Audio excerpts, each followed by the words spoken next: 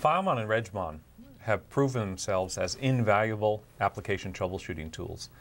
In fact, Microsoft Product Support uses these on a daily basis to diagnose a wide variety of system and application issues. The thing about FileMon and Regmon that makes them so indispensable is that they help to get to the root cause of what are often meaningless or misleading error messages or uh, dialogues that may come out of applications due to file or registry configuration issues. FileMon, as you'd guess, monitors all file system activity that's occurring on the system, and Regmon, as you'd also guess, monitors all registry-related activity going on in the system. These tools are available as a single download that work on all Windows platforms from Windows 95 all the way through Vista, including 64-bit Windows XP for x64 and 64-bit Vista for x64. Single download. Eh, if it necessary, the download extracts a 64-bit version to run on a 64-bit platform. The tools have roughly uh, 100,000 downloads each off of sysinternals to, to sysinternals.com, making them two of the most popular tools 10 years after their initial release. That's 100,000 total? 100,000 each. Total downloads? Total downloads. That's a month. A, a month? Yeah. Okay. Did I specify that? Yeah. A month. Oh. The uh, manifestation of either file-related configuration issues or corrupt files or registry uh, configuration issues can be in the form of error messages, message boxes that may come up, but also application crashes, the little we're sorry this application is closed, sorry for the inconvenience, uh, application hangs where the hourglass cursor appears, or sometimes silent process exits, process terminations that result in no visual indication what we're also going to see is that there are a number of different root causes that can result in those kinds of behaviors. Everything from missing or corrupt files that we'd look for, for with FileMon to missing or corrupt registry data. Permissions problems on files, directories, or registry keys can cause applications to misbehave. And wrong DLL versions, when they're loaded into a process, can cause that process to exhibit errors. Another application of FileMon is to observe and perhaps uh, tune file system I.O. activity. By being able to get a trace of I.O. activity, it may reveal inefficient access patterns, inefficient placement of files, and uh, also explain perhaps uh, just repeated I.O. to the disk. The hard drive light is flashing. FileMon will be able to pin down who's issuing those I.O.s. Also, uh, being able to understand registry usage can help to look for configuration issues, missing registry keys, or data in the registry that's causing application failures. There are two basic techniques used for either FileMon or Regmon. One of the simplest and the one that you'll apply most often is capturing a trace of the misbehaving application or of the situation that's causing an error and working your way backwards from the end of the log file back till you find the first operation that looks like it might have triggered the kind of error behavior that you've witnessed. Another technique, which is especially useful in situations where you have an application that works fine on one machine but not on another machine, or under one user account but not a different user account, is to capture traces of the good and bad behavior, save them to files, and then compare them, looking for differences that could explain the misbehavior. But you'll have to do a little bit of preparatory work because if you save a file on a Regmon log file, there'll be information on each line that unless you remove it will cause every record to be different. For example, there's an operation count or line number. The current date time is included in the log records and also the process ID, which will be different from run to run. Well, it's very simple to remove this uh, data by opening the FileMon or Regmon log file with Excel. Just choose the standard text import wizard settings, click Finish. It'll naturally separate the columns into separate columns, and basically you're going to delete the first three columns resave it out to disk, and then use a file comparison tool to compare the logs. So, Dave, you've got a motto, don't you, when it comes to troubleshooting problems with related application behavior? Absolutely. When in doubt, run FileMon and Regmon. And I can't overemphasize that enough. I've had multiple occasions where I was sure it was a file related issue and it was registry. Or the reverse. I thought it was a registry issue and it was a file issue. The other thing we'll see is that you should capture everything and then save that to a log file that you can load back and then apply filters to after you've loaded the file back into the display. If you set the filters during the capture, you could potentially exclude the relevant operations from the trace and then not be able to correctly diagnose the problem. And we're going to see later that you can set a, a trace depth so that you could leave FileMon or Regmon running for a long period of time without worrying about uh, filling your disk or filling virtual memory. Again, save that log with all of the capture as soon as a problem occurs, and then use the filtering that we're going to see to weed out the unnecessary, irrelevant data to be able to focus in and get to the root cause of the problem.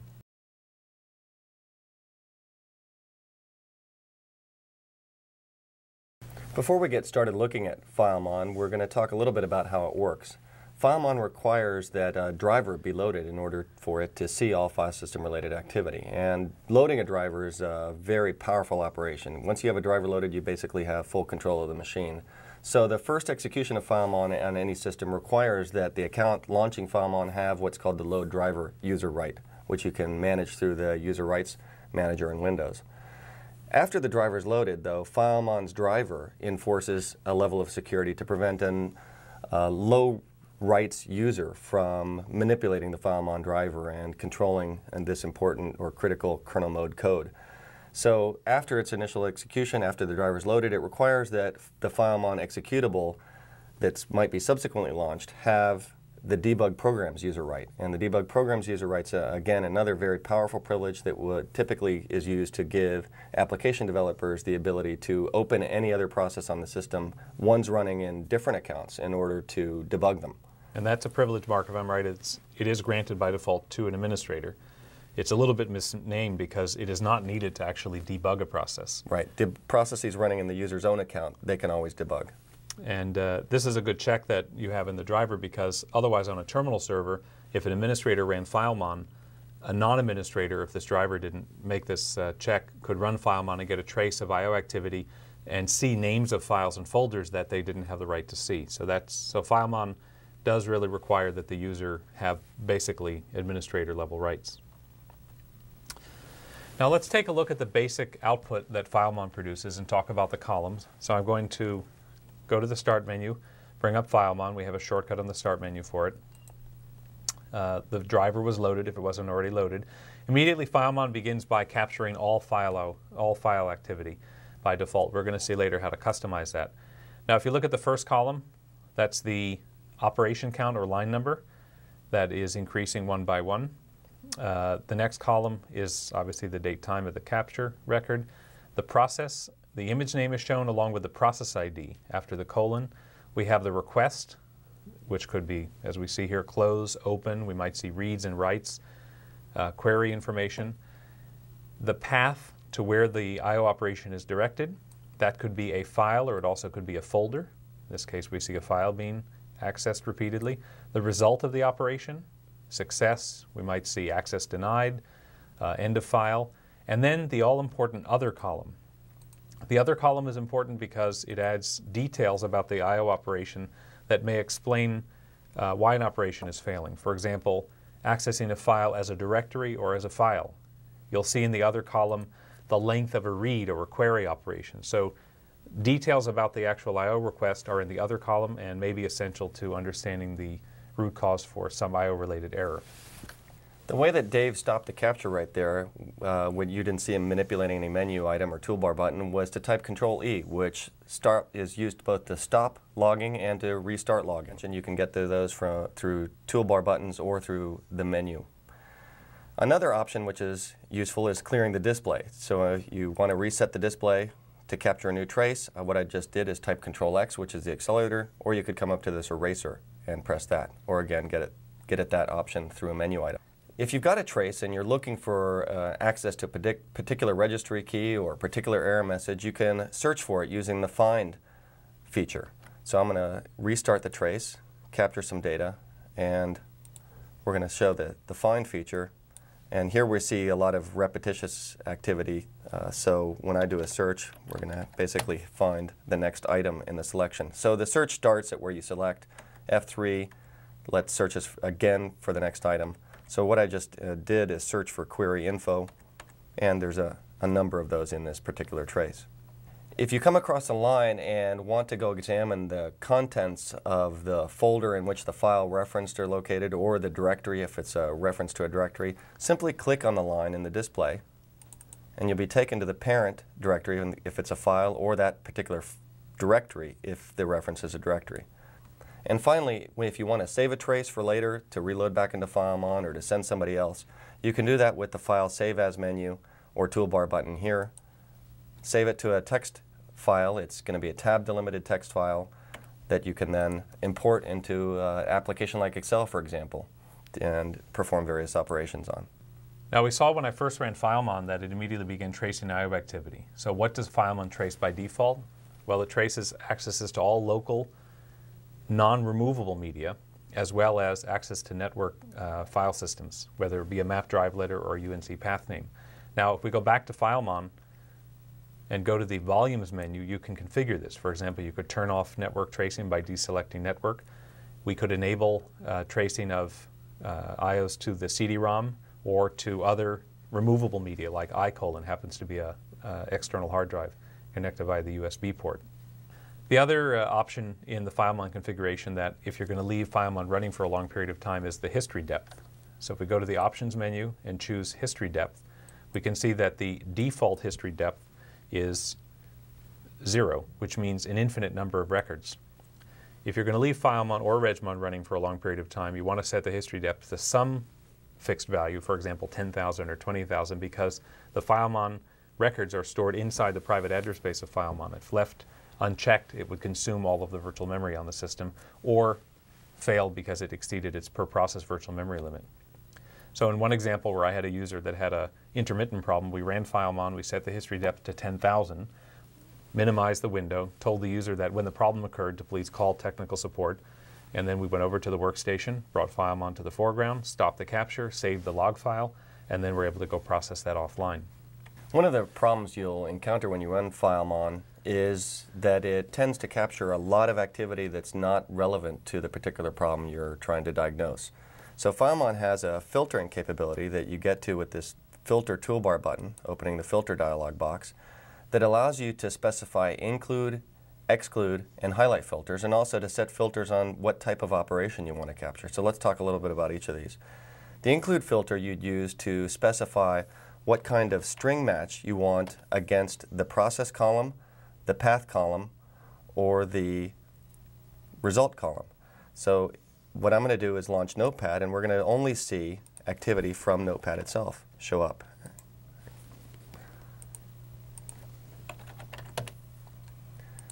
And we'll also see references to notepad.exe from other applications. If they happen to look at Notepad's image, this msmpeng.exe happens to be the Microsoft Windows Defender executable image, which describes itself as service executable. You can see it's in the Windows Defender directory here. And that is looking at notepad.exe's image probably to see if it uh, happens to be a virus or not. So the filter can this include filter can zoom in on exactly what you're interested in. However, sometimes it's more useful to exclude things rather than include things. For instance, if you have some particular process that's always performing activity on your system and you know that it's not related to the problem you're seeing, you might want to enter its name. So for instance, explorer.exe you might want to exclude since it's going to be performing operations in the background and when you launch applications that might not be interesting. And then finally, the highlight filter is useful for calling out accesses to files or directories or accesses by processes that are relevant or interesting to your particular uh, diagnosing. So I'm going to enter a filter for notepad.exe. Any line that has notepad.exe anywhere in it, which happens to be everything because that's what my include filter was set to, is going to show up in red.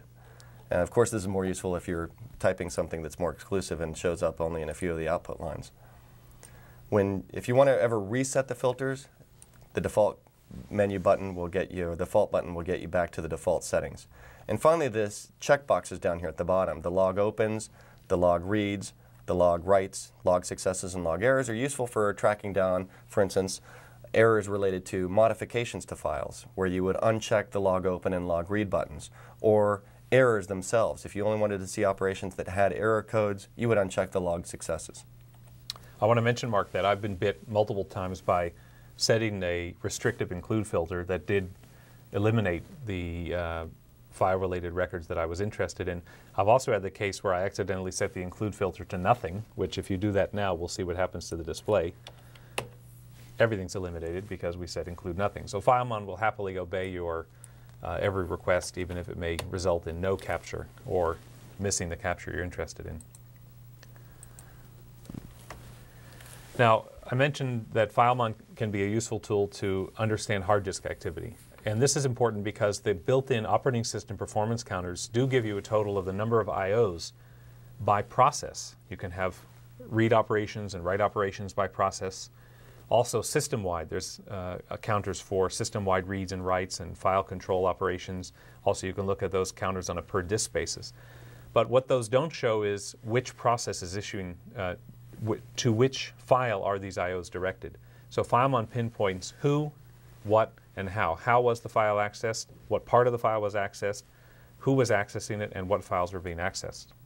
So when you run FileMon, one of the things that you might see is repetitious queries of the same locations. And that's, this is a behavior called polling, where an application is interested in a change to a file or directory and will once every second, once every five seconds, or 10 seconds go look to see if that file or directory's contents have changed. FileMon should actually be idle on an idle system. And when we brought up FileMon to show it, we noticed that explorer.exe is periodically querying the status of this particular executable on disk. If you took the time to investigate the root cause of this polling behavior that Explorer is exhibiting, you would find that it's related to the changing appearance of a tray icon. Whenever a tray icon updates itself, Explorer goes and has to query the image file to pull out the updated bitmap. And so that would explain that kind of behavior. There's really nothing Explorer can do about this. So this isn't something that you'd consider uh, poor polling, but many applications, unfortunately, including some that uh, you might have running across your entire enterprise, such as an antivirus or anti-spyware solution, can exhibit polling. And polling is uh, bad from a performance point of view because every time the process wakes up to perform one of these file system activities, the system scheduler has to switch to that particular process, which is a very heavyweight operation. It basically uh, eliminates any information in the local CPU cache that's relevant to whatever was happening before. It soaks up CPU cycles. It causes the memory manager to have to keep that process, parts of that process in memory at all times. And of course, it's related, uh, showing you uh, file system activity, so I/O activity, which is soaking up C CPU cycles, and maybe disk activity. So polling is bad. If you see it, contact the vendor or see if you can figure out a, if you can get a replacement application that doesn't exhibit that behavior. Now, FileMon can also be useful for detecting inefficient I.O. patterns. Uh, a, a, file, for example, that may be um, accessed in a, in a suboptimal way. And in order to demonstrate this, we're not trying to pick on Notepad, but we're going to use Notepad as an example and, and take a close look at what I.O. operations take place when you perform what you would think is a relatively simple and straightforward operation, creating a single line text file and saving it with Notepad. So to start out, we're going to run FileMon switch to FileMon. We're going to set the filter, I'm pressing Control L, to notepad.exe, because we only want to capture Notepad's IOs. We're going to then run Notepad. I'm going to type some text. And then before I go to save the text, I'm going to enable the capture. Go back to Notepad. Already we saw some IOs related to Notepad. We haven't done anything yet. I'm going to do a file save as. We just did uh, several hundred more IOs just to bring up the file save as dialog. A number of DLLs were loaded. Uh, the contents of the folder that we're looking at had to be enumerated. And I'm going to save this to C colon backslash temp test 3.txt and click save. So now we're going to go back to FileMon and disable the capture. And then let's go set a highlight filter so that we can zoom in on the I.O. operations related to the text file that we saved, test3.txt. So we'll press Control L, bring up the filter highlight dialog, and under the highlight field, put test3.txt. Now we can quickly see by scrolling up and down the lines that relate to the text file that we saved, and it appears that the first reference to the file is this open operation. Now if we look closely, this is an open operation to test3.txt and it got a file not found. Well, we haven't saved it yet. But if we look closely at the other column, scrolling over, notice that it's an open directory. Open directory means that Notepad was attempting to open a folder called test3.txt because there could be a folder with the same name as the file that we were creating. It wasn't there. So then, what did Notepad do next? It then attempted to open test3.txt again. Uh, was it opening as a directory? Yes. So Notepad wants to be really sure that test3.txt, the folder, doesn't exist, so it did it twice. Now that it knows there's no folder called test3.txt, look what it does next. It opens test3.txt, this time as a file. Again, that's clear because in the other column, we see that the option is open and not open directory. Now that Notepad is very confident that there's no file or folder called test3.txt, it considers it safe to now finally create the file test3.txt. But as soon as it creates it, it mysteriously closes it. Now that it just created the file and closed it, Notepad wants to see if it's still there. So it goes to open test3.txt. This time it gets a success because it just created the file. And to make sure it's really there, it queries some information about the file that it had opened. It queries the basic file attributes. And then, strangely enough, Notepad deletes the file that it just created, closes the file, and now to really make sure that the file is gone from the disk, Notepad queries information about the file and gets a file not found. And then Notepad queries information about the file again to make sure that the information isn't somehow reappeared on the disk. If we scroll down a little further, Notepad, just to be 130% sure, does a directory lookup in the temp directory for a file called test3.txt, which you can see over on the right. And to no surprise, there is no such file. So when I saw this the first time, Dave, I became convinced that Notepad's actually a file system stress test utility that ships with every copy of Windows. That could be the explanation Mark. As we continue, Notepad now opens test3.txt. Now, it just deleted the file, so how could it be success? Again, the other column is key. If you look at the other column, the option indicated is the open if. An open if means open the file if it's there, otherwise create it. So this is the second time test3.txt is being created. Now, finally, Notepad actually writes the data to the disk. And how much did it write? Again, if you look at the other column, it wrote to offset 0 for 15 bytes. 15 bytes were now written to the disk. Now, Notepad wants to inform Windows that it just wrote 15 bytes, so it sets the end of file marker to 15. And because it really wants to make sure that Windows knows this, it sets the end of file marker to 15. It then queries information about the file that it just created to make sure that everything still matches. And then, because it's getting paranoid, it does a directory lookup in the temp folder one more time to make sure that test3.txt exists. There's the reference to the file name. This time it's a success. Finally, Notepad, having exercised the file system thoroughly, can close the file and report success to the user. We've now saved the data to disk. Well, I'm exhausted just watching that, Dave. I am too. But why is it really doing this? Is this just a bug in Notepad? I don't know, Mark, tell us. Well, actually, it's not Notepad that's performing most of those operations. The first operations where we saw Notepad create a file and then delete it are actually being performed by the Common Control dialog box, which implements a file open function that applications can call on. And file open will either return nothing or return the path of the file that the user wants to create. The Common Control dialog box is actually creating the file and then deleting it to make sure that it's possible to create a file at the location that user specified and handles the error itself. If it wasn't possible, it would have popped up a dialog box and told the user to specify a different path. The application developer, in this case Notepad, didn't have to worry about handling that particular error.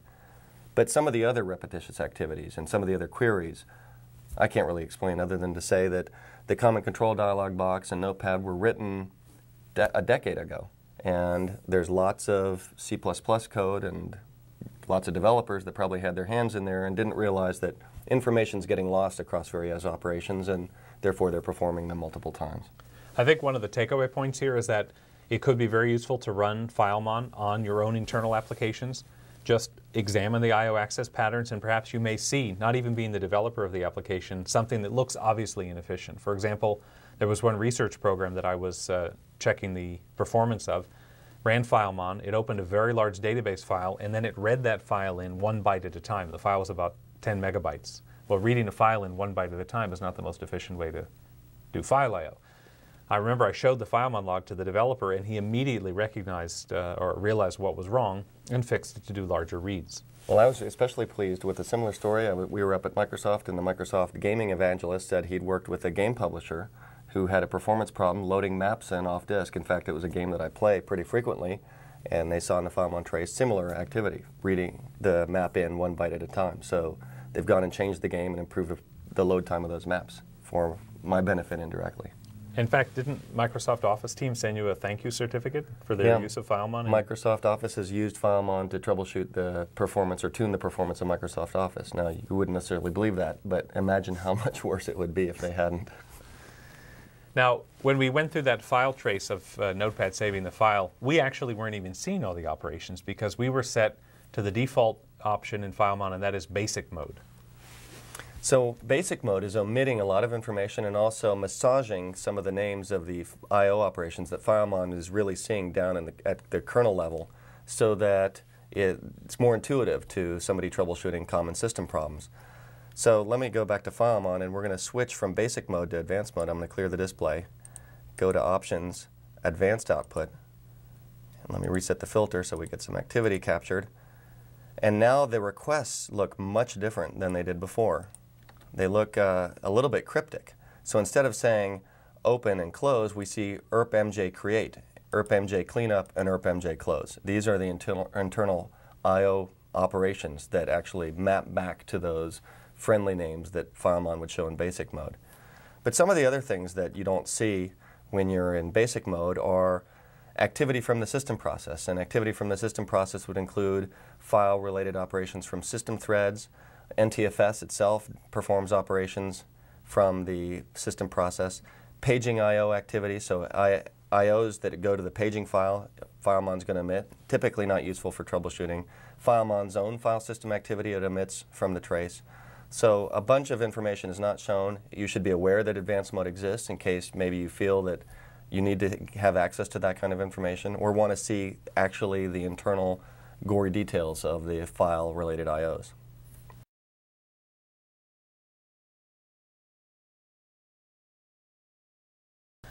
Let's look at a number of real-world case studies, examples where FileMon was used to solve real application errors, failures, or strange or misleading error messages. The first example was uh, a user that was editing a Word document using uh, the version of Word uh, called Word XP, and while typing, mysteriously, Word would disappear. The process would vaporize. It would exit without any error message. No, Dr. Watson, no, we're sorry for the inconvenience, your process has crashed. And because it was intermittent, uh, it wasn't reproducible, we ran FileMon on the user's workstation, set the history depth to 10,000, minimized the window, and asked the user to please call tech support when the problem re reoccurred. Sure enough, the problem occurred later that day. Word disappeared. So uh, we captured the FileMon log to disk, and then went and opened it.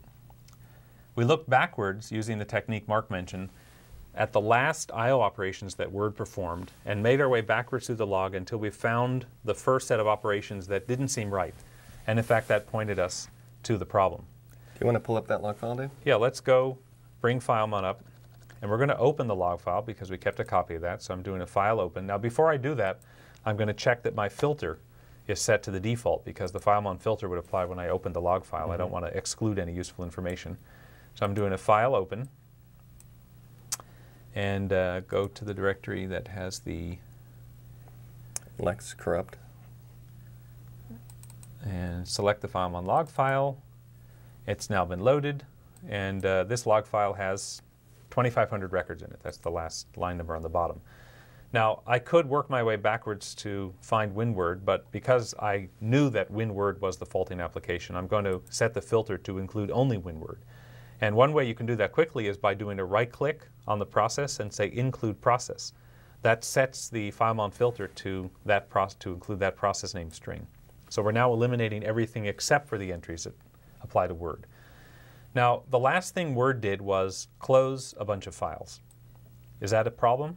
No, that's normal because when a process exits, part of the process rundown on Windows is to close all the open handles. So this is the normal sequence of events we would expect to see when a process exits. So we need to go to the first thing before the sequence of closes. And that was a read from a file in the application data Microsoft Outlook directory. Now, that could be the problem, but it's not obvious that it is, so we'll kind of put that to the side and go to the previous line. And that was a read from a file in the Proofing Tools directory. In fact, it was a read from the Spanish dictionary. If we go across, what's interesting about this particular read request is that it resulted in an end of file. Well, that's not that normal for a process to read beyond the end of file. But if we go to the previous read request, and the previous read request, and the previous read request, and the previous previous, Word was reading repeatedly, hundreds and hundreds and hundreds of times, beyond the end of file of this Spanish dictionary file. And if we go over to the other column, we can see that it was reading repeatedly from the same location at this large file offset with the same length. Well, that's not normal. Hundreds and hundreds of reads to an invalid file position in a file. The solution? Get a correct version of that file. That file was corrupt. And this is one of many manifestations of corrupt files. Applications that aren't prepared to deal with an invalid file format may cause the application to go into a loop or to crash. In this case, it caused a silent process crash. There was no error message. Reinstalling the proofing tools replaced the file. Problem went away. An example of a problem that would literally be unsolvable without looking at the FileMon trace. So there's probably nothing more gratifying to me, Dave, than uh, using my own tools to troubleshoot problems that I encounter. And I had an opportunity to use FileMon to troubleshoot just such a problem. I was building a tool with uh, Visual Studio, and the linker, and uh, when the linker went to link the tool together, came up with an error. Let's go take a look at what error it showed us. So I've got the screenshot here of the command prompt in which the linker ran, and the error basically is error writing to database, and there's the name of the executable, well, a PDB file. Let's zoom in a little bit. And the message the message tells us to check for insufficient disk space and or insufficient privilege. So it tells us that uh, there's a, a problem with the build, with the link step, but the linker is actually not able to tell us precisely what the problem is. And so this had me confused for a while. So my first step in the troubleshooting process was to run FileMon and capture a trace of the link process. And I have that trace saved away, so let's load that into memory. Oops, and you know what, Dave? I just had a filter set from your previous example, so let's clear that and perform that save operation, uh, that load operation again. And if we scroll over, what we're going to find is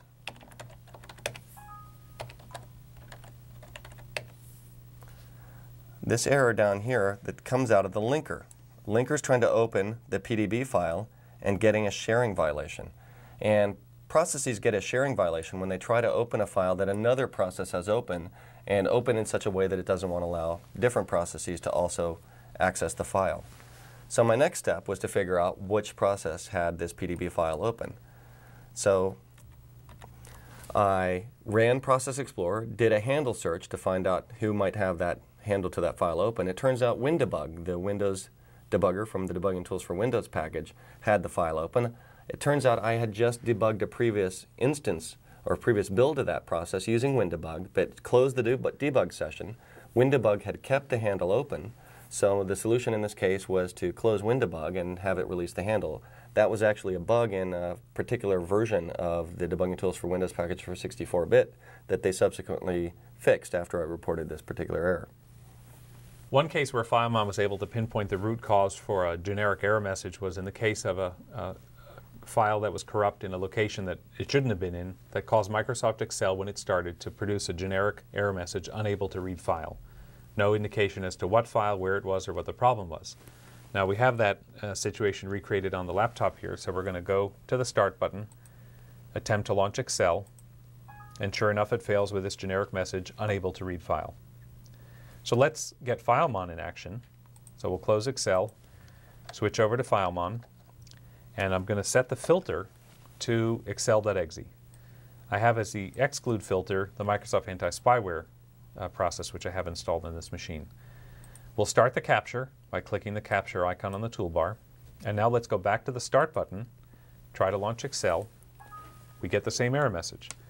Switch back to FileMon, stop the capture, and using the technique that we discussed earlier, we go to the end of the log and work our way backwards to find the I.O. entry that would indicate or point to the problem. Now the last few records here are Excel shutting down. DLLs being referenced, opened, and closed. Uh, to save time, we're going to go back to the root cause of the issue, and this was references to a file in the user profiles Excel start folder. Microsoft Office applications have a folder where they look by default for documents to load. In the case of Excel, it looks in the user profile application data Microsoft Excel Excel Start folder. And Excel was opening and reading a file in there called new text document.txt that we can see there on the right. Now I'm going to use the feature in FileMon where if I double click on this line, FileMon opens an Explorer window taking me to the folder containing the file. And sure enough, there is a text file of that name, and if you'll notice, the length is zero bytes. Well, that's a file whose size Excel is not prepared to deal with. So it's the presence of this zero length file that caused Excel to fail, even though this wasn't an Excel file, it was a text file. So we'll delete the file, close Excel first, and now when we go back and restart Excel, Excel starts without errors. Problem solved thanks to FileMon. Another type of problem FileMon can help you troubleshoot are DLL problems. DLL problems that are caused because an application installation has become corrupt and the DLLs are missing, or because when you launch the application, it is pulling DLLs from a different location than the DLLs for which it's written are located.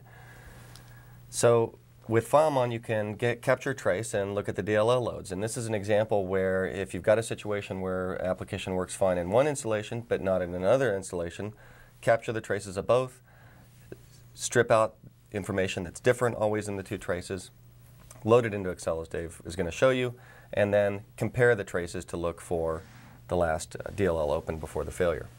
You know, I can think of a case where I had a friend who, on a Windows 95 machine, I usually try not to do any troubleshooting on Windows 95, but he was desperate. He was trying to install a printer.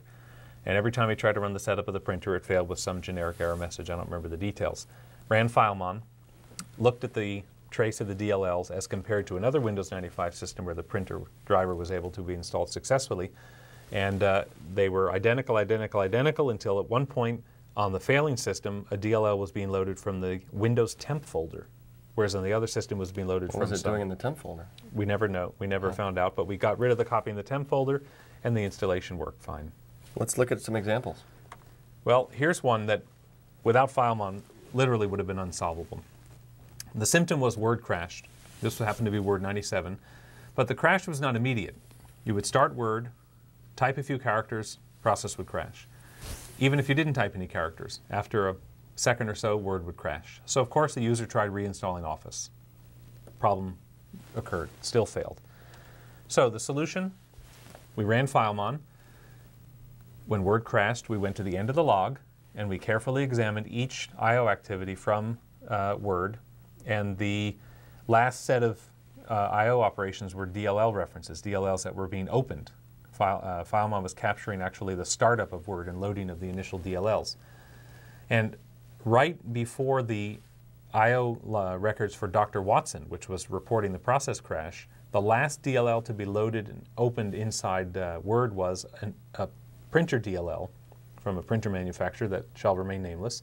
And then right after the DLL was loaded, then Dr. Watson came up. And the tricky part about that is the DLL load was successful. So the error was, there was no error loading the DLL, but it was the fact that the DLL loaded that caused the process to crash. And the reason for that was it turned out that the uh, printer DLL was for the wrong version of Windows, and when it loaded, when a DLL loads in a process, a small amount of code is invoked. That code ran and caused a memory access violation inside Word and caused the Word process to crash. So the solution was to uninstall the printer from the system, and the problem went away. Now here's another example that uh, a particular user was running perfmon, and when they launched perfmon, perfmon would just sit there and hang. It's not something that you might immediately think of jumping to FileMon to troubleshoot, but this user had learned from the past that FileMon can sometimes uh, reveal the cause of any kinds of problems, including these. Actually, Mark, you know when this happened? When? This was during a delivery of our class down in Orlando. So it was somebody in the class who had just learned about FileMon who then applied it for a real world problem during the class. Well, let's talk, take a look at how they troubleshot this particular problem. They captured a FileMon trace of perfmon starting up, and we have that ca copy of that trace here on this system. Let's load that in. This is so exciting. Oops, and there we got bit by the filter again. We go to the end of the log file and work our way backwards. Now we're seeing activity here from other processes other than perfmon. Explorer is opening perfmon4.exe. Task Manager is opening perfmon 4.exe because the user had pulled up Task Manager to help troubleshoot the problem. Here are the actual references from perfmon. And we can see that the last file that it referenced before it went dark on us is uh, DLL w3ctrs.dll. The user wasn't sure what that DLL was for, so they looked at the Explorer file properties for that DLL and found that it was related to iNetInfo, the IIS service. And this caused them to go and see what was going on with the IIS service. So they pulled up the IIS uh, service control uh, service manager, MMC snap in in Windows, and we're going to go look at the screenshot of what they saw.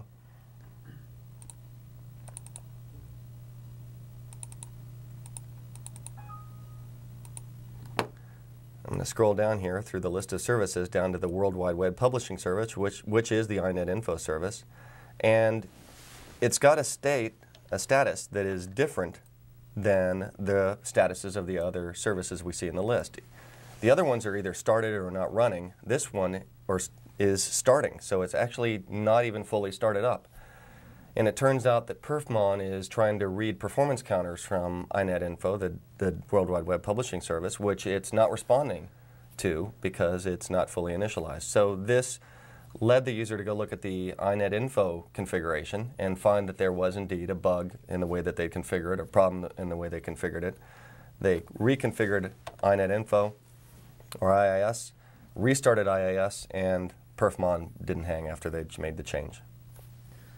In another case, FileMon solved a problem very quickly that a developer had spent several days debugging. It was a research application that worked fine when bringing up the help text on Windows 95. Uh, sorry, it worked on all the versions of Windows except Windows 95. And the problem wasn't trying to bring up the help. And when the help was brought up in Windows 95, it failed with some meaningless error message. And they had actually communicated with the vendor that wrote the help library, and they had said it wasn't their problem. So I was asked to troubleshoot the problem, and uh, I started by, of course, running FileMon on the failing system, Windows 95, and then I did a FileMon capture on Windows 98, which was the closest version of the operating system that it was working on. I did the normal log preparation, which meant opening both log files, stripping out the first three columns, saving them back to disk using Excel, and then use WinDiff to compare the logs. And even though there were two different versions of Windows, Windows 95 and Windows 98, the I.O. operations were identical for quite a while until at one point they diverged. And where they diverged, the path for one of the OLE object linking and embedding DLLs was different. On the Windows 95 system it was coming from a network share. On the Windows 98 system it was coming from the Windows uh, system directory. Turns out that that DLL didn't exist in Windows 95, but there was a version of that DLL in a network directory that happened to be in the user's path. So, uh, and this version of the DLL on this network directory was actually for Windows NT4. So that DLL was being loaded in the process and causing the process to crash. So the solution was to get the proper version of the DLL for Windows 95, and the problem went away. It turns out that applications pulling DLLs from places that they're, they're not configured to pull them from is not that uncommon. And we've got an example here of a corporate user that would run Access and try to import a particular Excel file into Access, and Access would hang when they tried to do that. Because it was a corporate network with similarly configured machines, they could try loading the same Excel file into Access running on different computers, and they found that it was only this one user's machine that exhibited this particular behavior. So this was a perfect opportunity to capture FileMon, a good FileMon trace and a bad FileMon trace, and then compare them. And we've got both traces, so we're going to pull those up in WinDiff.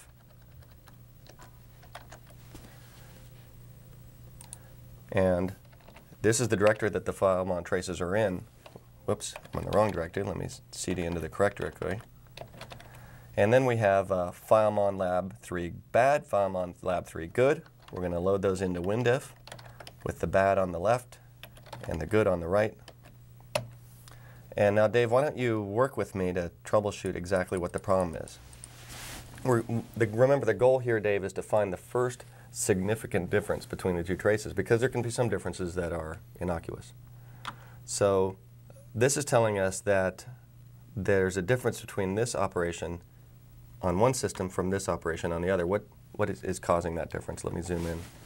Yeah, that helps, Mark. Now I can see that on the failing system, which is the one in red, the MyDocs directory had a capital Y, whereas on the working system it had a lowercase y. There was also an additional I.O. on the failing system to f colon backslash. So I would say that difference, looking at it just at a cursory level, seems to not be relevant to the problem. Yeah, Windows doesn't care about compare about file uh, name case, case, sensitivity. How about the next one? Same thing, Mark. Case sensitivity difference. Yeah. How about this one down here? Oh, that's a little harder. Can you zoom in on that? Yeah. You know, I see that the temp files have different names, but you know what, Mark? I think temp files often do have different names on different computers, so I would say that's not a problem. Okay, how about the next one down? Oh, that's getting harder, Mark. Uh, MSJTES40.dll. You know, one's lowercase and one's uppercase. Again, Windows doesn't care. Okay, and the next one? Temp files. I got that one right away, Mark. Uh -huh. That's okay. Okay, let's uh, go look a little bit further. We still haven't come across a significant difference. And uh, here we are. stdole2.tlb, same file, same path, different case, not a problem. Okay. Temp file names, not a problem. Okay. The next one, WinNT System32 ACC Wiz.dll, and on the other system, it was coming from a completely different folder. Mark, I think that's the problem. And yep, this is very similar to the example that you just talked about, where a DLL is in the System32 directory, the application expects it to find it in a different directory and uh, it's causing it to misbehave. In this case, they found that the acwiz.dll in the system32 directory was from an older version of Access. So the solution was simply to delete that file and Access then was happy with the Excel file that they tried to import. And I remember this particular example was interesting because it was not a crash, it was a hang of Access, just because the wrong version of the DLL got loaded. And Access, again, did not notify the user about that. A similar case, a different application, but a similar case in that this is another example of an application hang that FileMon was able to solve, was starting uh, a video editing tool uh, from Pinnacle called Pinnacle Studio. The application was hanging on startup, so no window was appearing when the program was started. So again, FileMon was used to capture a file trace, and uh, let's go switch over to FileMon and load that file trace. So we'll go up to the directory that has the Pinnacle Studio hang, load the file on log file, go to the end, and work our way backwards till we see the studio.exe. And what we see is repeated references to a DLL uh, that was part of the Cyber Patrol program, which Cyber Patrol is. Is a, that part of Pinnacle Studio? I don't think so. In fact, it was in a completely different folder. It was in the program file surf control folder. So it turns out that uh, Cyber Patrol monitors processes by loading its own DLL into each process, and it was somehow causing Pinnacle Studio to hang. Solution, uninstalled Cyber Patrol, problem in a way. Again, a problem that we could not have solved without the help of FileMon. Now this next example is one of my favorite, Dave's, because this one involved you. And the story basically is that a friend of yours that you hadn't spoken to in some time invited you over for dinner. Isn't that right? Yeah, it had been quite a while since I'd uh, been invited for dinner there, actually. And anybody suspicious. anybody watching this and watching this video uh, has probably experienced something similar. Because the profession you've got, uh, you've become the neighborhood and family computer tech support person, and this was no exception. So Dave goes over to this friend's house for dinner. They have a nice dinner, right? After dinner drink, and the guy says, Dave, while you're here, how about if you step into my study? I've got something I'd like you to take a look at. And what he shows Dave is that he runs uh, America Online and gets this error dialog box that tells him he's that some data file is corrupt and he's got to reinstall.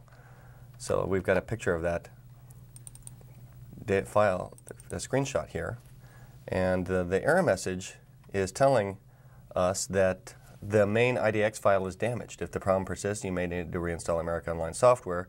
For more information, go to keyword help in American Online. So Dave asks his friend, of course, uh, have you reinstalled America Online? And he says, yeah, in fact, we've installed it two or three times, and we decided to invite you over for dinner before we just go ahead and reinstall the whole computer. So Dave's step, of course, uh, is advice is to capture a trace of AOL starting up with FileMon. So they capture a trace with FileMon, which I'm going to load here into the FileMon display. And they go to the end of the log file and scroll up looking for a significant operation that might have a clue as to what the problem is. I'm going to scroll up here and up. Oh, file not found. That turns out that's a pretty common error message. So I'm going to whiz by that and those other related file not founds. And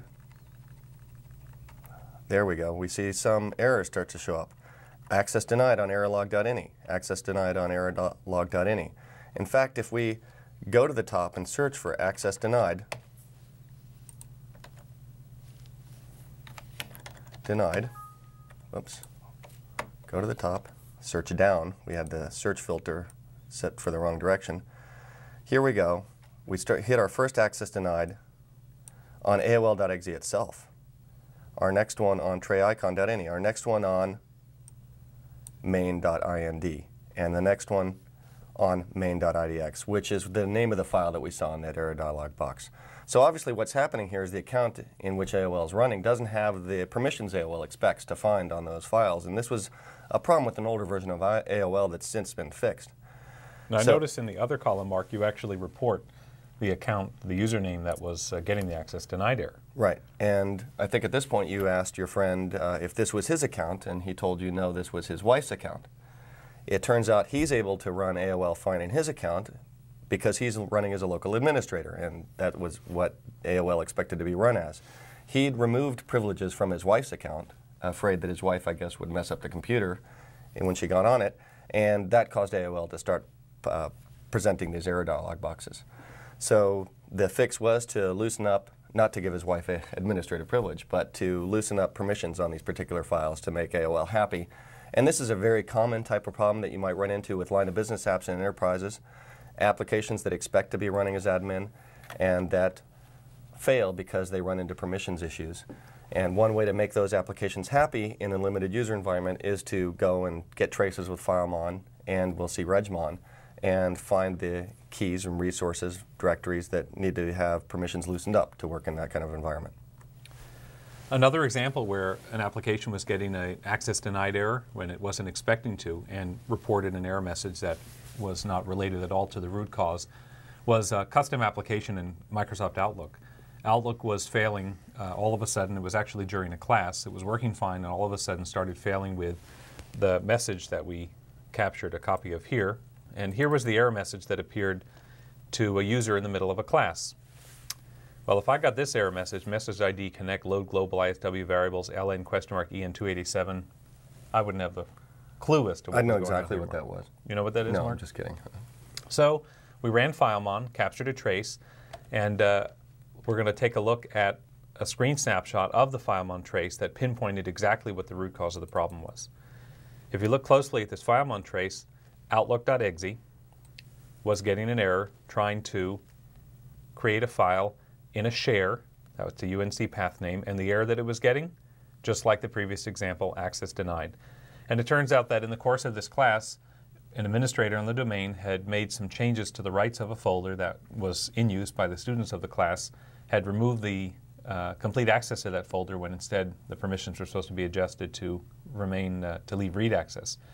So permissions problem, again, caused application that wasn't expecting it to report a strange error message.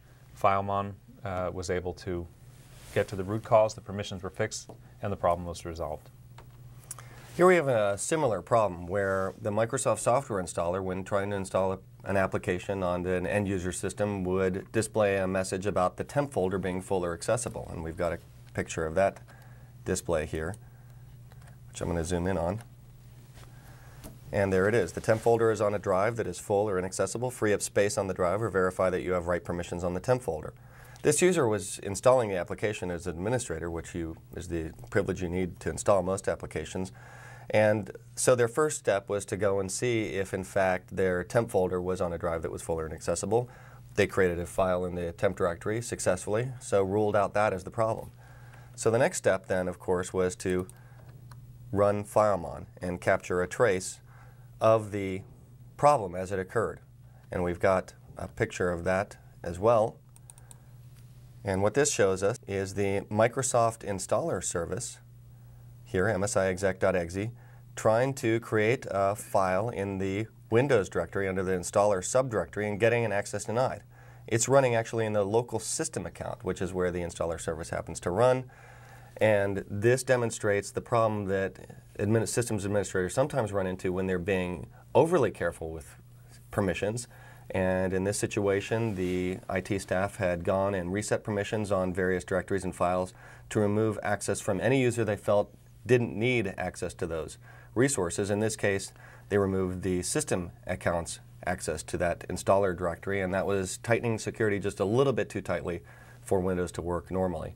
They saw the access denied, loosened the permissions, and were able to get the installer to work again.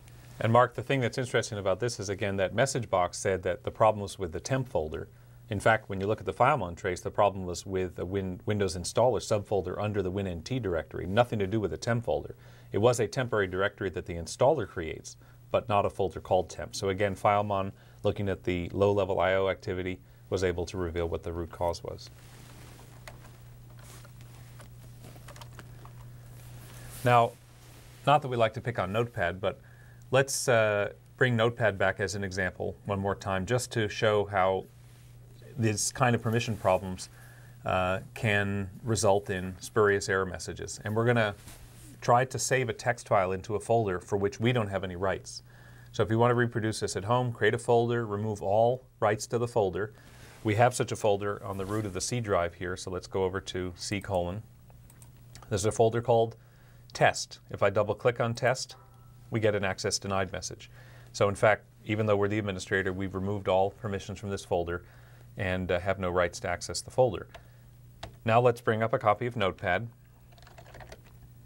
type some text, and do a file, save as, and I'm going to try to explicitly put it into C colon test, and I'll call it test.txt. Notepad reports the error, the path does not exist, verify the correct path was given. Well, we already showed you that the path does exist. In fact, Notepad is reporting a different error than the root cause, which of course has to be a permissions issue. Let's prove that by getting a file trace with, Notepad, uh, with FileMon. So I'm going to go over to FileMon. Let's set the filter to notepad.exe. Start the capture. Go back to our Notepad window and reattempt the file save. File save as c colon test test.txt. We get the path not found error. Go back to FileMon, stop the capture, go to the end of the log, and sure enough, there's the access denied trying to open the folder c colon test. But that's not what FileMon reported. FileMon reported the error message after that, and that was an attempt to open test.txt the directory. We can see that it's referencing that as a directory because of the other column, the options. It was reporting the second message as path not found when in fact the real problem was that the folder that it was trying to open the folder in was not accessible. Again, looking at the FileMon trace uh, reveals the access denied. This has happened so many times that when I'm trying to troubleshoot a, a spurious uh, file system related error, before I attempt to analyze the FileMon log, I'll actually go to the top of the log, do a search for access denied just to eliminate permissions issues, and then I'll start from the bottom and work my way backwards because it's happened so often.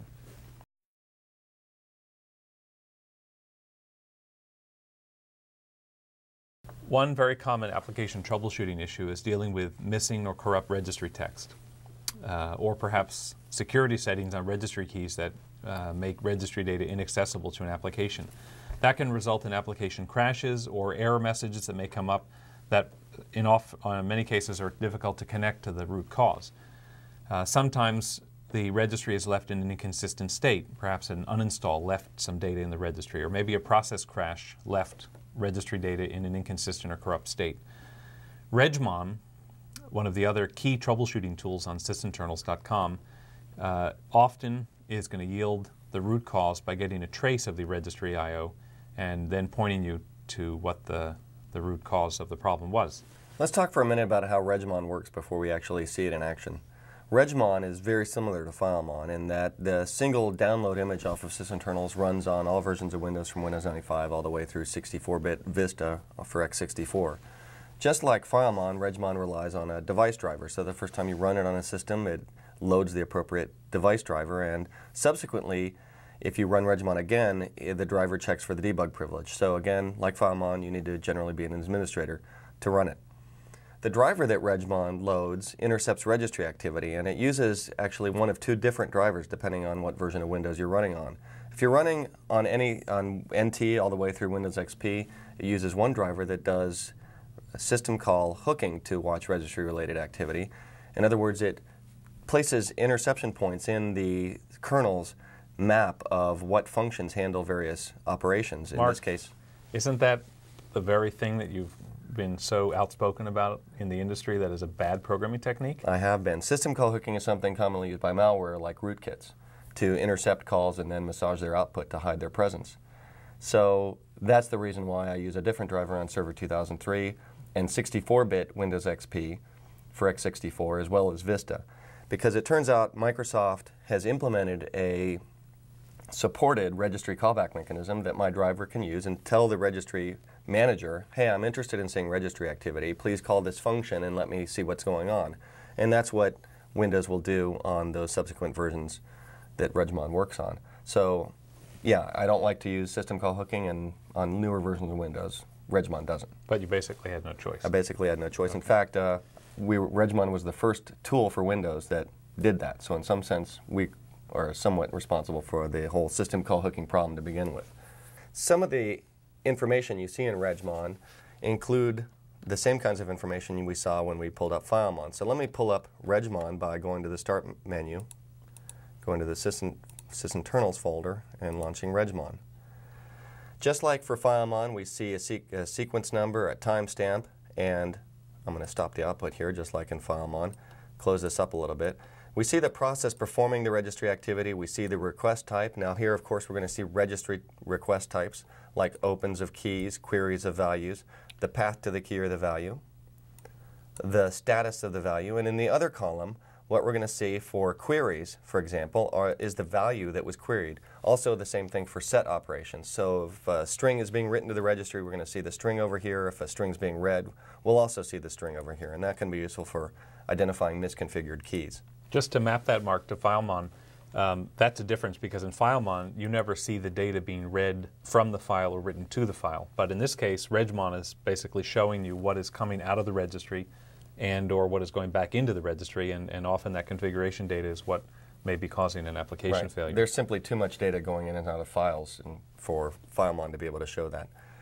If you've used regedit, you're familiar with HKey local machine, HKey current user. In Regmon, to save screen real estate, it uses shortcuts for those various top-level registry keys. For example, HKey local machine is HKey LM, HKey current user is HCU. Now, just like in FileMon, Regmon has similar control capabilities. You can start and stop the logging with either a toolbar icon or pressing Control E. You can clear the display. I'm going to go back to the Regmon window now and press Control X. That's the keyboard shortcut to clear the display. Uh, Regmon also has the same find dialog. So going back to Regmon and pressing Control F, you can then search for text within the window, up or down, match case sensitive or case insensitive. And uh, also, like in FileMon, when you can, where you double click on an I/O entry in the FileMon trace takes you to the folder containing the file. Let's re-enable the logging, get some capture data, stop the logging. Now notice when I select a line and double click, Regmon initiates the registry editor, regedit, and takes us exactly to the registry key containing the value that was being referenced, or in this case, the, the key name that was being referenced, so that you can go inspect further. So it's a jump operation by double clicking on the line. For uh, offline analysis, Regmon, like FileMon, has the option to save the log file to disk and to also load a previously saved log file. So if we go back to Regmon, if we go to the File menu, there's a Save and Save As, and an open option to reload a previously saved registry trace. One of the things you encounter with Regmon, just like you encounter with FileMon, sometimes there's an explosion of information, just too much data being collected. And so Regmon has a, the same exact ways of controlling that output that FileMon does. One way is through the history depth, which you get to in the same place. Set the history depth to anything other than zero, and it will limit the number of lines captured into the output to that number, only showing you the, mo the most recent lines of output at any point in time. The filter dialog is exactly like FileMon's filter dialog, lets you specify an include filter, an exclude filter, a highlight filter, and also limit the types of operations captured to opens, reads, writes, successes, or errors. And if you change the filters, you want them back, simply select the default button and it resets.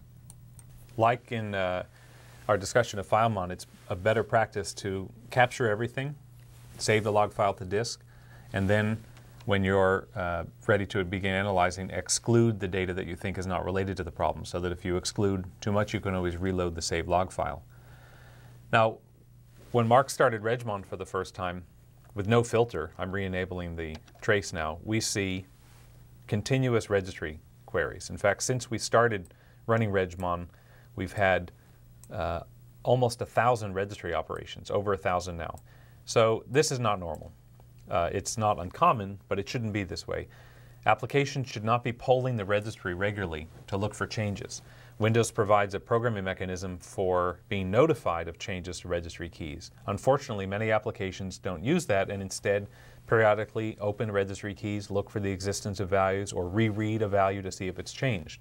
We do see an example of this on this system right now. I'm going to stop the log and just take a little closer look. Now this is a process that we've inspected a little bit before. Let's bring up the process properties. We can see that the company name is Agere Systems. It's a support application related to the modem. It's uh, in the C Windows directory. And uh, that is a process currently running on the system.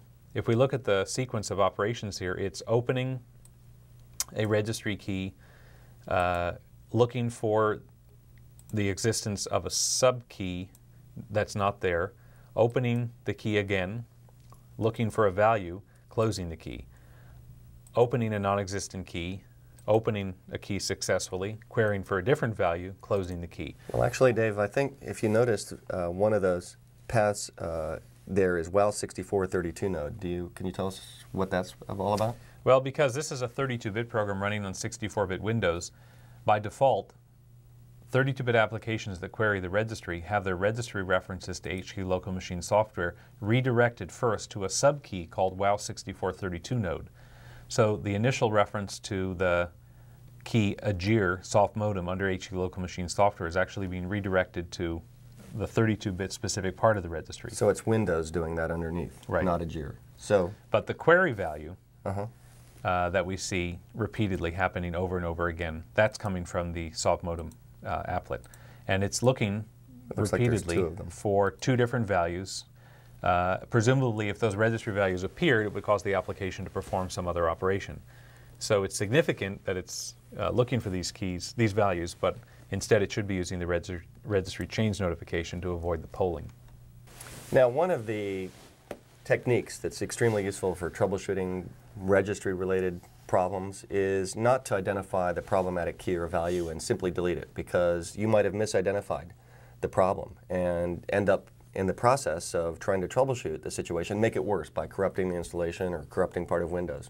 So if you suspect that uh, registry data is rel related to the problematic behavior that you're witnessing, don't delete the key, simply rename it and then rerun the application even if the application depends on those values or those keys that you've renamed, uh, what we're going to see is a lot of applications fall back on default, default values if they can't find values in the registry. And so they'll simply recreate them and run find kind of in a reinitialized state, which can cause the problem to go away. Now we can see an example of this by using Notepad. We're going to run Notepad and change the font setting, and then we'll see using Regmon where Notepad stores those settings and what the re uh, resulting behavior is when we delete that registry key. So let's first go over to Regmon. I'm going to set a filter to be notepad.exe. Uh, turn on the capture. Start Notepad. Go to the Format Font dialog, and we'll change the font from Arial to, how about, Forte. I've never seen Forte. Let's see what it looks like. It's kind of a nice looking font. Shall we type some text? Wow. Wow, that's really pretty. I, I think, I'm going to switch to that. I think it's a good one, yeah. Now, let's go back to Regmon, and uh, I'm going to do a, go to the top of the log and do a search for Forte. Hmm, it's not there yet.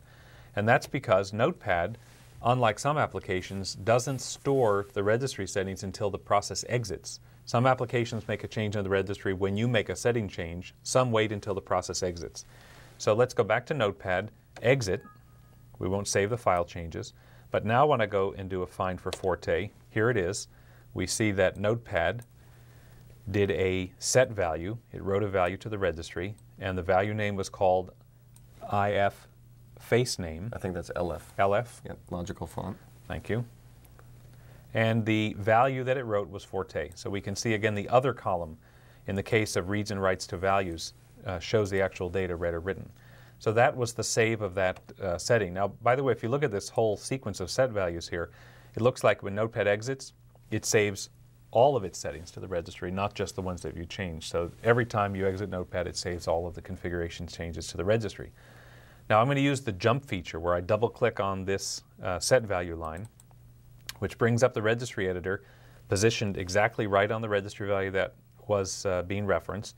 And since we're now open to the key Notepad underneath, if we look on the very bottom of the screen, it's underneath H key current user, software Microsoft Notepad. Makes sense that it's part of my user profile. Let's delete that key, rerun Notepad, and see that Notepad goes back to the default settings. So is it all right, Mark, if I delete the Notepad settings? Do you have any? I'm trusting you here because I really like those settings that I left it with. Okay, so we're going to delete that key, and now we're going to run Notepad again. I hope Notepad's not broken.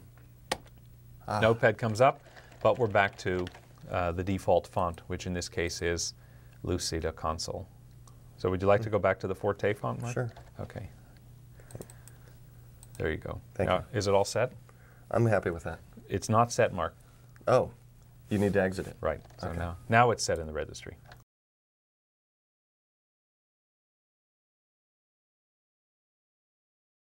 Let's take a look at some real life uh, case studies, uh, examples where Regmon was used in real world uh, scenarios to troubleshoot application failures. And the first one was one that's near and dear to my heart because it actually came from my stepmother. Uh, I was teaching a class in England to a computer company and uh, in the middle of the afternoon received a message passed in from the secretary to the engineering manager and it said uh, your dad called uh, please call home when class is over. It's not an, it's not an emergency.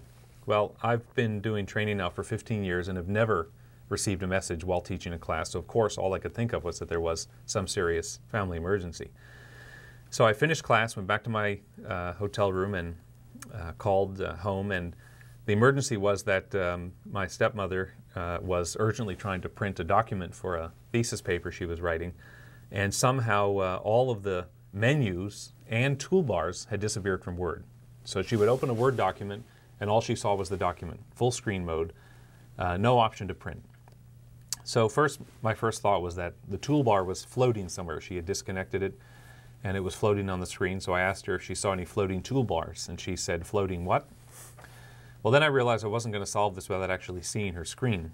So I was dialing uh, using a calling card at a reasonable rate, but I now needed to dial up the internet so that we could connect using remote assistance so that I could see her screen, which meant I had to call her back on my cell phone, which at the time was costing me about $2 a minute. So I connected with remote assistance, and uh, sure enough, when I brought up Word, all I saw was a document. To this date, we don't know how she actually got Word into this state. So we challenge you to, to go and try to reproduce this problem yourself. But with the uh, funds disappearing at a rate of $2 a minute, I didn't want to waste time trying to isolate exactly what was wrong with Word's settings. And because I didn't even want to take the time to run regedit and go looking around for Word settings, I quickly ran Regmon, started Word, went back to the Regmon display, saw immediately where the queries were going to from Word startup, double clicked on that line, which brought up regedit, went immediately to the key containing the Word user settings in HKey current user, deleted that key, reran Word, and all the toolbars and menu items were reset, and she was able to print the document. Only cost me about 50 bucks. Did you charge it back to your mom? Uh, no, I, it was a gift. Yeah, it was a gift. That's nice of you. So here's another error that was solved with Regmon. In a corporate environment, on one particular user's computer, they would get an error from every time they launched IE that said cannot load the Internet Configuration Library. We've got a picture of that error dialog box.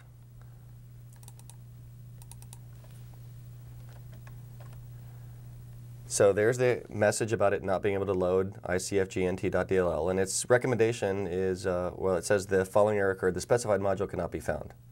So that implies that the DLL is missing, and so of course the tech support person, when they got to the user's machine, went and looked for that particular DLL on that user's machine, and it wasn't there. So they went to the other machines in the network, which were similarly configured, and found that that DLL was missing from those machines as well. So this presented a little bit of a puzzle. They ran Regmon and captured a trace, and we're going to pull up that trace here in Regmon. So I'm going to reset the filter, stop the capture, and go and find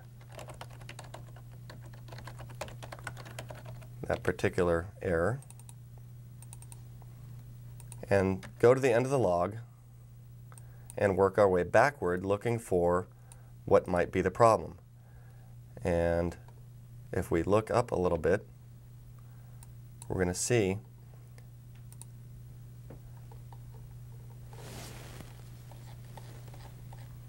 uh, there we go. A particular line, HKey current reference to, let me zoom in here, HKey current user, software, Microsoft, Internet Connection Wizard, completed. If we look at the value, it's set to zero. That's what Internet Explorer read out of there. So they captured a trace of Regmon on, of IE starting up on the other machines and compared it to this one to see what the completed value was and found that on the other machines in the network that value was set to 1. How it got set to 0 on this particular user machine is one of those mysteries that makes tech support so interesting. What they decided to do rather than go reinstall the machine was simply to open up regedit by double clicking on that line and setting the value to 1, restarting IE to see if it would work and sure enough IE was happy and stopped presenting that dialog box. Another uh, IE-related configuration error that was a source of frustration to a user to the point where he was ready to completely scratch his hard drive and reinstall Windows. The symptom was that when starting Internet Explorer, it would hang unless the user manually dialed the internet provider. This was using a dial-up provider. So if the user dialed the internet provider first and then ran IE, it worked. However, if they just ran IE and tried to go to a website, IE would hang. So uh, before the user reinstalled Windows, I asked to just have a crack at it. So I went to uh, the user's machine, uh, ran Regmon, captured a trace, and again, using the technique we described, went to the last operations that Internet Explorer performed in the registry and worked my way backwards. And the last several references to the registry were under the RAS, Remote Access Services, phone book key, and there was a reference to a subkey, ATT, which was uh, a previous uh, internet provider that had been used on that machine but was no longer being used. In fact, it had been uninstalled. Apparently, that internet provider's dialer had left some junk in the registry that was causing the auto connect support in IE to hang or choke. Solution was to delete the key and uh, or we renamed the key actually just in case that key was still of interest. Reran Internet Explorer, problem went away, user was very happy. Again, Regmon saves the day. Now, here's another example that has a slightly different root cause than the ones we've looked at. When the end user on one particular machine installed an application, they would get an error dialog box from VBA saying error accessing the system registry. Let's go take a look at that error dialog box. That's a really uh, descriptive yeah, error really descriptive. There, yeah. yeah, not much to not much of a hint about what might the, the problem be. So of course they tech support comes in, runs Regmon. Let's go pull up that Regmon log.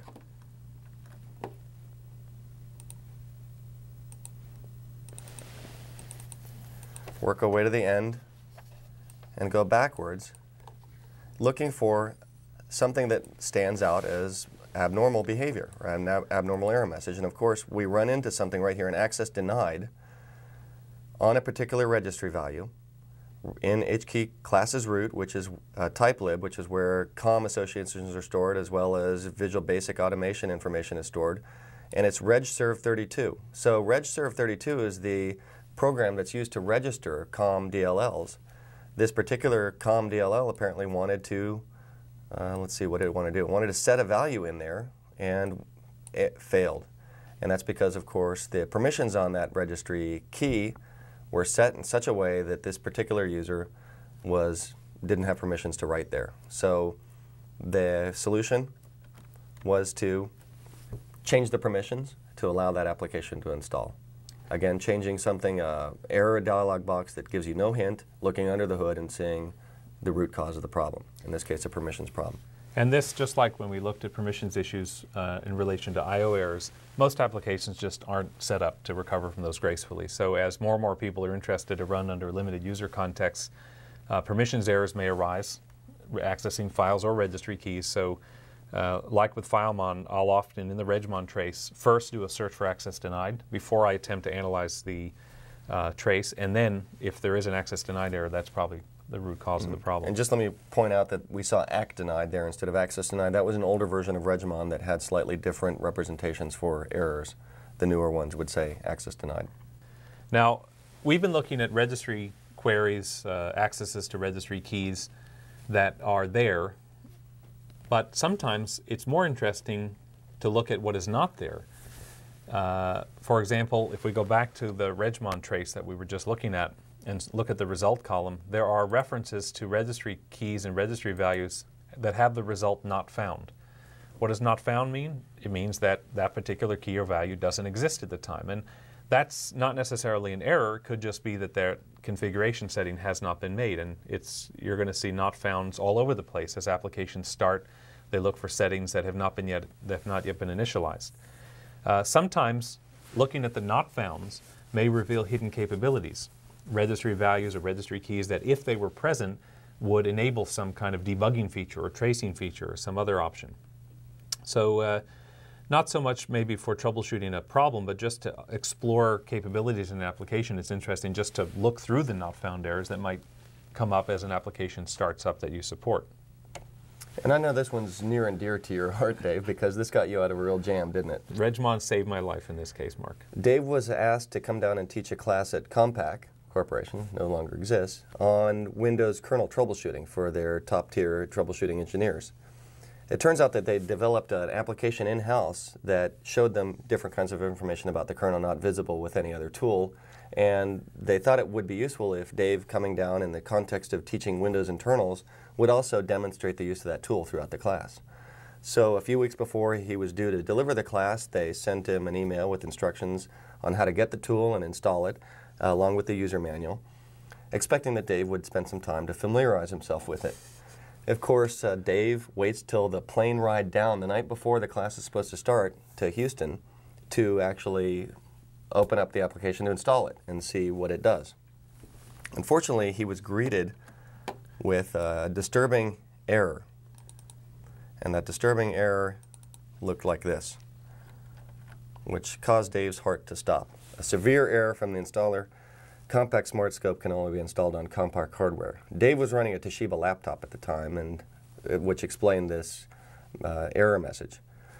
So Dave starts panicking. He starts sweating. He asks the flight attendant for a stiff drink. The flight attendant goes up to the galley and prepares it and comes back and sees Dave in his seat squirming and all, all in all upset, and asks, Sir, uh, is there a problem? Can I help you? So Dave points at the screen at the error message, explains what's happened here and the kind of problem that he's position he's in, and the flight attendant says, Well, sir, have you tried running Regmon? And it hadn't occurred to me until yeah. that point, Mark. So that's how widely used Regmon is, that even flight attendants are familiar with it and Dave was a little embarrassed that he hadn't thought of it himself. So he captured a trace with Regmon and saw this reference to a not found registry value. You can see ikernel.exe, which is the setup program, calling OpenKey on HKey local machine software Compaq disable hardware detection, getting back a not found. So Dave thought, hmm, maybe this is my way out. If he opens up regedit, he creates a D word, figuring this thing is a Boolean, sets it to 1, closes regedit, closes the installer, and relaunches it, only to be greeted with the installer working. So Dave, in the half an hour he had left before landing, familiarized himself with the tool, shows up at the class next morning, and then presents himself as an expert at using their tool, and somehow gets away with it. Procrastination works again. And that's, uh, yeah, with that kind of uh, positive reinforcement, it's no wonder you procrastinate so much.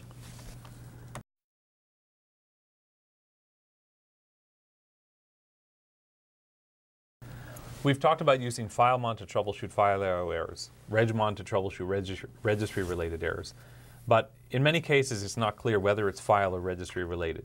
Uh, sometimes both uh, are involved, or in many cases, I've thought it was one, but it was the other. So, as I've mentioned, I have this motto when in doubt, run FileMon and Regmon. Always do a capture using both tools.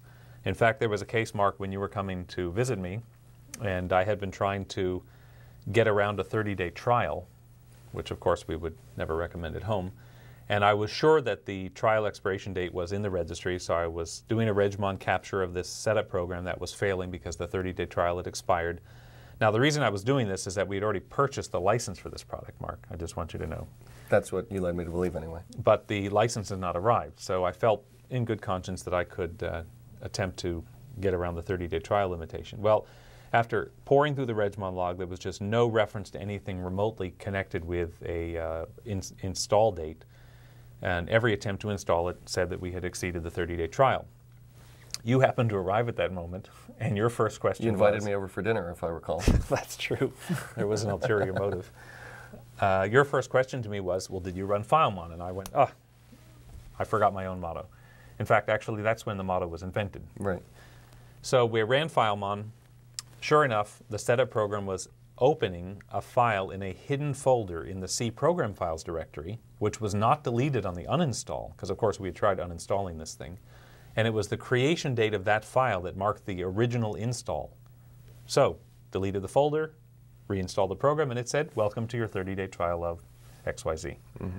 So, FileMon has. Can you tell us the name of that program? I can't uh, reveal that now.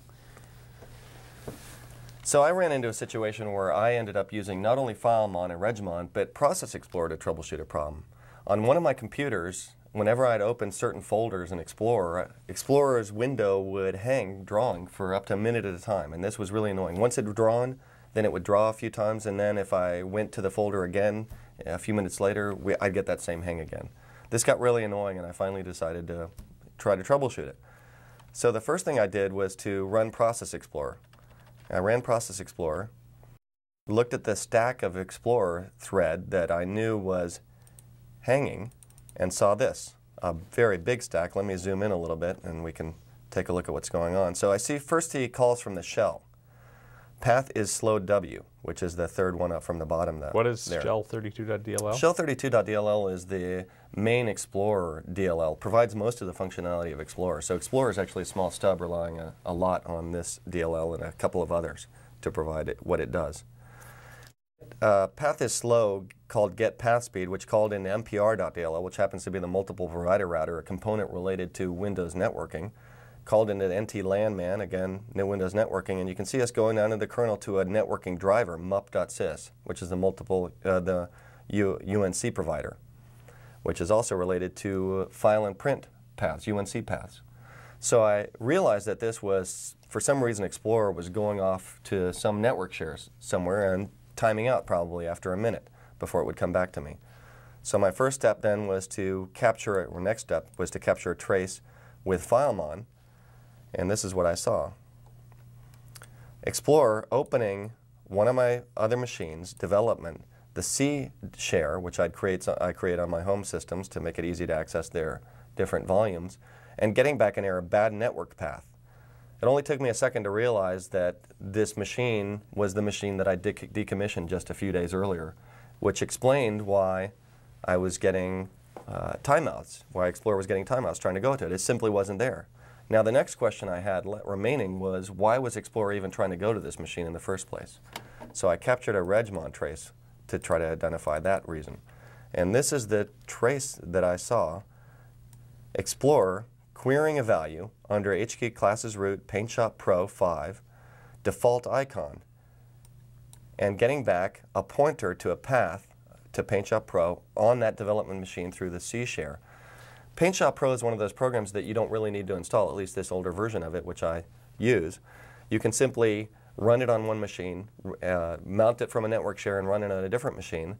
But what happens the first time it runs is it does file associations for different types of format, graphical formats. And when Explorer opens up a folder with some of these file formats, it tries to go and find the icon it should be showing for these associations. In this case, it was going to get the association, the icon from PaintShop Pro on the decommissioned computer, which is from where I'd run PaintShop Pro the first time I'd run it on this machine.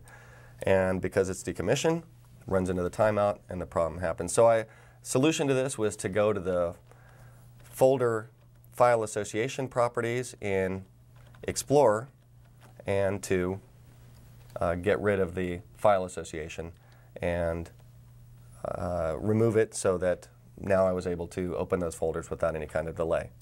Now, Mark, this happens to be one troubleshooting scenario that you wrote up in detail on your blog. So you think it might be a good time to just bring up that blog entry to show people where that is because it's there for reference purposes. Um, sure, let's go to the Sysinternals website.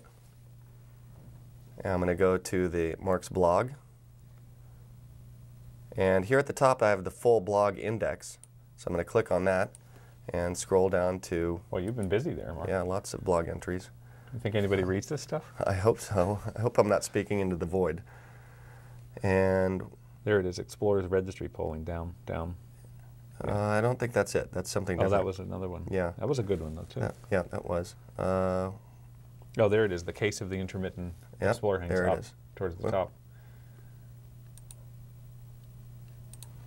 Intermittent and annoying, I'll point out. And uh, Explorer hangs, and there's the screenshot that we just looked at, along with the traces that we just saw.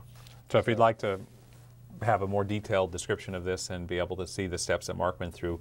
This is a blog entry, and this is, we should probably mention, one of several blog entries that are uh, records of some of the troubleshooting uh, steps that you've gone through using sysinternals tools. In this case, three of them, Process Explorer, FileMon, and Regmon.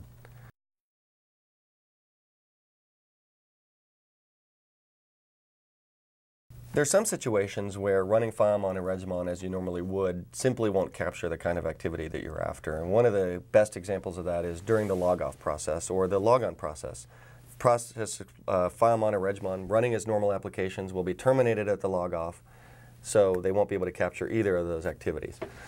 One of the ways that uh, you can configure Regmon and FileMon to capture activity during those situations is to simply put shortcuts in the startup menu for them, but that's not always sufficient to catch activity very early during the logon process. One way to configure FileMon and Regmon to remain running across the logoff so that they continue to be running when you log on subsequently is to use psexec. Uh, in particular, to use psexec minus i uh, with minus s. Minus i gives the uh, psexec created process access to the interactive desktop. Minus s specifies to run it under the system account.